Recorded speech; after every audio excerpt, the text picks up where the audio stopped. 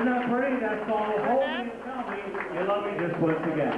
Out of the brass I section, don't know if I got your Barry. Wagner, who joined our band five and a half years ago, and we're going to do a little favorite called Please Think of Me.